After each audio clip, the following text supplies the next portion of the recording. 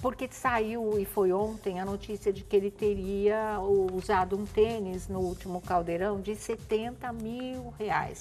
E isso mexeu com o coração do padre Júlio Lancelotti, não é? Que ele, a vida dele é dedicada aos carentes, à assistência social, a, a motivar as pessoas pela fé também, para que elas tenham resistência e possam superar tudo isso. E aí ele ficou inconformado com essa história de como que alguém, num momento de tanta fome no país, pode gastar 70 mil reais num par de tênis.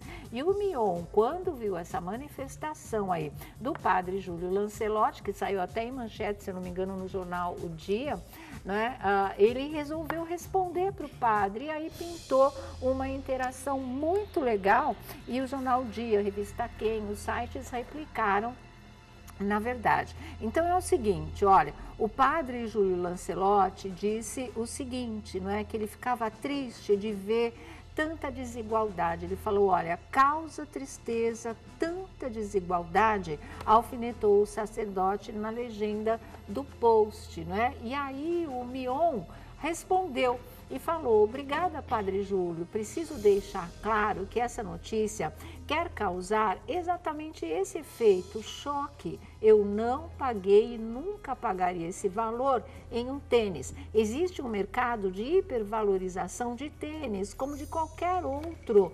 Estava né? melhor o de outro, mas outro tudo produto. bem, é. De qualquer outro produto. E aí me tiraram Mas eu não lance. faço parte dele. Uhum.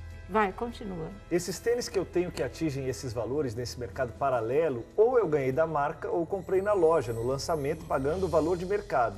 Eu tenho 100% de consciência do meu lugar de privilégio e por isso mesmo levo como obrigação ajudar ao próximo, como já fiz, por exemplo, doando e também divulgando as suas causas.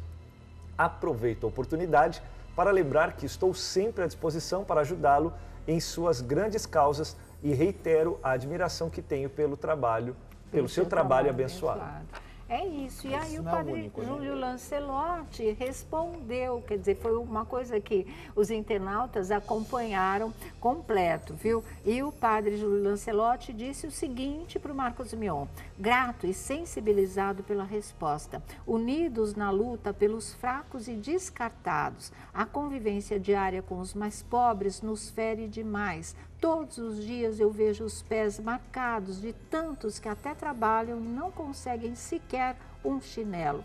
Deus nos guarde e Maria também. Né? E ele deixa um abraço para o Marcos Mion e um abraço para a Astrid Fontinelli, que foi uma das uh, seguidoras que elogiaram essa interatividade entre o padre e o Marcos Mion, entre o Mion e o padre Júlio Mas Lancelotti. Esse, esse, é o, esse não é um dos únicos tênis que o Mion tem nesse valor, ele tem um outro vermelho também, que é a ponteira, inclusive, do cadarço é de ouro que custa 90 mil reais. É, tá né? certo. É, ele tem essa marca aí que eu acho que patrocina, manda para ele também. É, mas eu concordo com o padre. Eu acho que a gente está numa fase que realmente não dá para ficar ostentando essas sutilidades, né? Não, não dá mesmo. Mas é como ele falou, existe um mercado hipervalorizado de tênis. Aquele mercado paralelo, que tem gente que paga esse valor. O preço do tênis em loja é outra coisa. É o que ele disse, ele jamais daria 80 mil reais num par de tênis. Primeiro, porque ele ganha a beça os pares de tênis das grandes marcas. E segundo, que ele quando tem ele bom compra, gosto, né? É ele compra em loja que não passa perto Inclusive esse é feio, preço, eu não pagaria né? sete reais nesse. É muito feio, não vale esse dinheiro todo.